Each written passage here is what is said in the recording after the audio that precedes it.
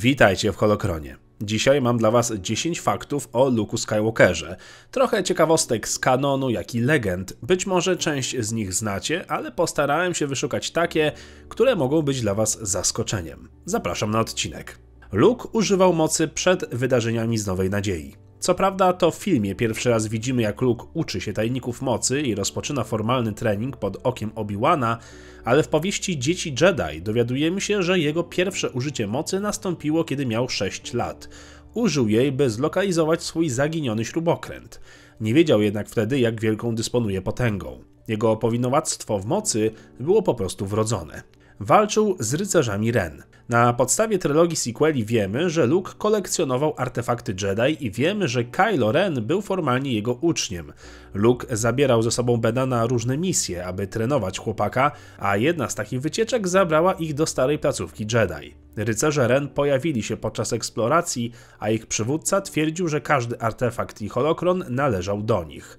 Jedi z łatwością wygrali walkę, ale przed ucieczką przywódca Ren ostrzegł, że w Benie jest cień i zaoferował chłopcu miejsce z nimi, jeśli zdecyduje się wrócić w przyszłości.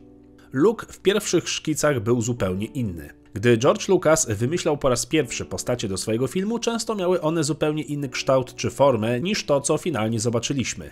Luke Skywalker przykładowo był o wiele starszym, bo 65-letnim, doświadczonym wojownikiem Jedi, a jego wychowankiem był młody Anakin Starkiller, syn Kaina Starkillera. Jedi Bendu służyli imperatorowi od ponad 100 tysięcy lat, nim powstali rycerze Sithów. Istnieje nawet komiks, który adaptuje pierwszy draft Lucasa z 1974 roku. To fantastyczna wizualnie powieść, którą bardzo Wam polecam. Link znajdziecie w opisie odcinka. Ale to nie jedyna diametralna zmiana u tej postaci. W marcu 1975 roku George Lucas dokonał znacznych zmian w drugiej wersji scenariusza do Gwiezdnych Wojen, zmieniając Luka w dziewczynę. Ralph McQuarrie nawet przygotował na szybko takie grafiki koncepcyjne. Mamy też parę grafik od sztucznej inteligencji, które są dość ciekawe. Miesiąc później Luke znów stał się facetem wizji Lucasa. Pojawiła się za to księżniczka Leia, która była jego bliźniaczką. Jak powiedział sam Lucas, postanowiłem po prostu podzielić postać na dwie części. Luke był samoukiem. Jedną z najbardziej charakterystycznych rzeczy w Luke'u Skywalkerze jest to, jak wyraźnie różni się on od innych Jedi.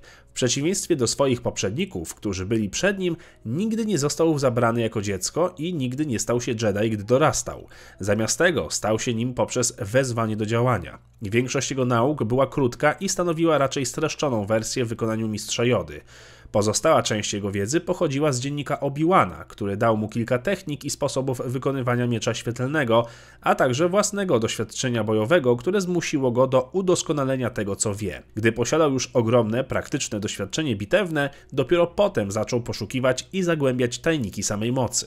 Walka z Vaderem. W filmach Luke fizycznie konfrontuje się z Vaderem dwukrotnie. Raz w mieście w chmurach na Bespin, potem zaś w sali tronowej Imperatora. Możemy do tego oczywiście doliczyć jeszcze potyczkę gwiezdnymi myśliwcami podczas ataku na Gwiazdę Śmierci, czy też starcia czysto telepatyczne, ale jeżeli chodzi o stanie twarzą w twarz, to pojedynki filmowe zdają się być jedynymi, które się odbyły, ale tak nie jest. W kanonie Luke miał możliwość poznania Vadera na księżycu Simon 1, gdzie stoczyli krótki pojedynek. W legendach z kolei walczyli w świątyni Pomodżema na Mimban. Tutaj również mamy komiks, który obrazuje książkę z legend, swoją drogą pierwszą jaka powstała. Link również znajdziecie w opisie odcinka. Luke sam również był wybrańcem i to dwóch przepowiedni. Wiemy, że ojciec Luka, Anakin, był wybrańcem obiecanym w przepowiedni mocy, ale tak się składa, że w legendach Luke również miał przepowiednię dotyczącą jego samego i to nawet dwie. W 19 roku przed bitwą o Jawin rycerka Jedi Sha Kun stoczyła pojedynek i została pokonana przez Darth Vadera. Kiedy umierała, Kun doświadczyła wizji mocy, która ukazała jej bunt przeciwko Imperium oraz powrót Jedi w postaci Luka Skywalkera. Zobaczyła również Vadera odkupionego za swojego syna, zabijającego Palpatina oraz odrodzenie się zakonu Jedi. Druga zaś dotyczy wydarzeń około 230 roku przed rokiem zerowym, kiedy to statek szkoleniowy Jedi, Chuntor, rozbił się na planecie Datomira. Mistrz Yoda wraz z innymi Jedi walczył z czarownicami z Datomiry. Dochodząc do impasu, zgodził się zostawić na planecie zebrane dane ze statku, jednakże upewnił się, że nie będzie można ich odczytać, dopóki na planecie panuje ciemna strona mocy. Przepowiedział, że kiedyś przybędzie ktoś, kto uwolni wiedźmy od mroku. I tak też się stało. Jego ostatni uczeń, Luke Skywalker, przybył potem na Datomirę, ocalił planetę i udostępnił dane wiedźmom, wypełniając tym samym przepowiednie z dawnych lat. Od zawsze chciał być w rebelii. W Nowej Nadziei Luke nie może się doczekać, by opuścić farmę wujostwa i zostać pilotem. Mówi wtedy o Imperialnej Akademii, dając widzowi dziwne, niejasne przesłanie, że w swojej naiwności myśli o przyłączeniu się do Imperium, by dopiero potem poznać się na ich prawdziwej naturze. To jednak nieprawda, bowiem w usuniętych scenach, gdy Luke spotyka się z przyjaciółmi na stacji Toshi, wyraźnie zaznacza, że nienawidzi Imperium z całego serca i chce przyłączyć się do ruchu oporu. I made some friends at the academy. When our frigate leaves for one of the central systems, we're gonna jump ship and join the Alliance. The rebellion? Quiet down. Yeah. I'll be at the academy next season, and then who knows? I won't be drafted into the Imperial Starfleet, that's for sure. Nigdy nie był za dobrym nauczycielem. Mimo swojego mistrzostwa w mocy, zarówno w legendach, jak i kanonie, Luke nie był zbyt wybitnym nauczycielem, szczególnie w temacie zagrożenia, jakie niesie ze sobą ciemna strona mocy. W legendach stracił siedmiu uczniów na rzecz ciemnej strony w ciągu pierwszych dziesięciu lat swojej akademii, liczącej zaledwie kilkudziesięciu studentów. W kanonie niemal natychmiast stracił siostrzeńca i prawdopodobnie kilku jego przyjaciół. Gdy porównać to ze Starą czy Wielką Republiką, gdzie dość rzadko zdarzało się stracić jednego ucznia spośród tysiąca Jedi w ciągu pokolenia, Luke wychodzi na dość marnego mentora w tym zestawieniu. No ale jak wspominałem, wszystkiego uczył się sam, jak widać metodą prób i błędów. Luke poznał imię swojej matki wiele, wiele lat później. Gdy Luke poznał imię swojego ojca, jego świat uległ potężnemu trzęsieniu ziemi, jednak nigdy nie pytał o matkę. To znaczy pytał, ale pośrednio, bo pytanie jest skierowane do Lei i jej wspomnienia. Luke zdaje się nie interesować swoją matką. W legendach dowiaduje się o niej dopiero podczas kryzysu Mrocznego Gniazda, gdzie ma już ponad 50 lat i natrafia na pewien hologram ukryty w pamięci R2D2. Wtedy też poznaje Padmę i fakt, że była jego matką.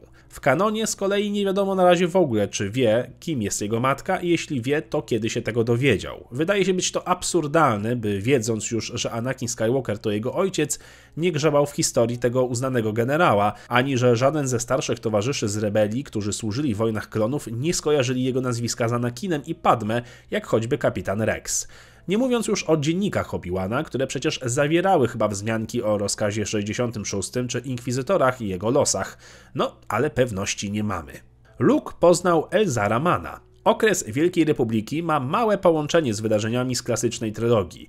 Luke podczas swojej wizyty na żyjącej planecie Gazian dostał się pod działanie halucynogennych grzybów, jak również mocy samej planety. Miał wizję, w której zobaczył i rozmawiał z mistrzem Elzarem Manem, bohaterem książek z okresu Wielkiej Republiki. Przy okazji zdobył tam jedną z pradawnych ksiąg, starodawnych tekstów Jedi, które pozwoliły mu dalej się rozwijać i poznawać tajniki mocy. I to wszystko na dzisiaj. Dziękuję Wam bardzo za oglądanie. Dajcie znać w komentarzach, jakie macie pytania oraz propozycje na odcinki.